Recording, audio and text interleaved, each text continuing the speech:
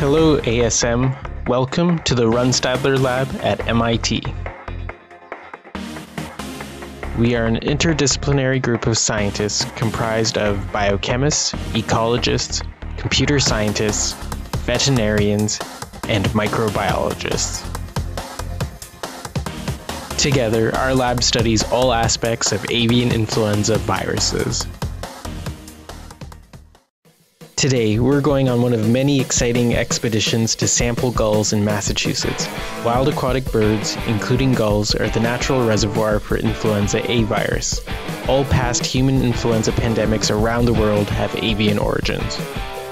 We bait the gulls with food conclusively shown to attract the maximum number of birds bread. Then, we safely trap the birds with the help from the Department of Conservation and Recreation of Massachusetts and a net launcher.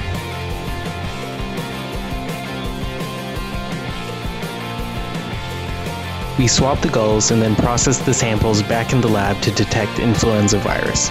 Understanding the current strains circulating in the natural reservoir may inform us about and help us better prepare for future pandemic viruses. This is how our microbiology research, one bird at a time, is making the world a better place.